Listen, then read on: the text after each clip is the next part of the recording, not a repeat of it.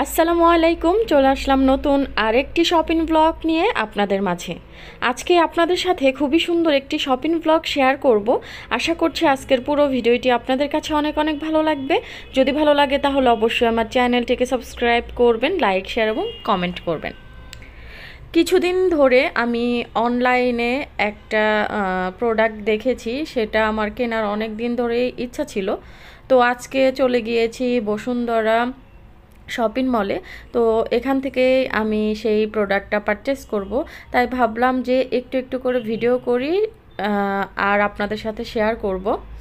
তো আমি আমার প্রিয় মানুষের জন্য সেই জিনিসটা কিনবো। তো সামনে যেহেতু ভালোবাসা দিবস, তো আপনারা তো বুঝতেই পারছেন যে আসলে কার জন্য গিফটটা কিনছি।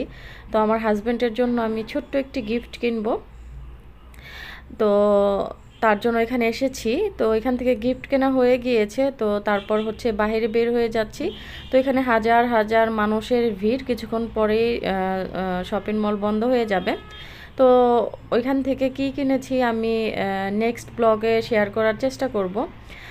আর এখন হচ্ছে গিয়ে শপিং মলের যে বাহিরে রোড সাইডগুলোতে যে এই ধরনের ছোট ছোট দোকানপাট বসে, এখানেও কিন্তু খুবই সুন্দর সুন্দর জিনিসপত্র পাওয়া যায়। তো এখান থেকে আমি আমার হাজব্যান্ডের জন্য এখান থেকে একটা মানি ব্যাগ নিচ্ছি আর আমার ছোট্ট সোনামনির জন্য যেখান থেকে বেল্ট নিচ্ছি। তো এগুলো কিন্তু শপিং মলগুলোতে বা যে কোনো দোকান বা সুপার শপগুলোতে অনেক প্রাইস রাখে। আর এখানে কিন্তু খুবই রিজনেবল প্রাইজে কেনা যায়। তো এখান থেকে আমি কয়েকটা বেল্ট নিয়েছি। তো এই বেল্টগুলো কিন্তু গাউনের সাথে পরলে খুবই ভালো লাগবে।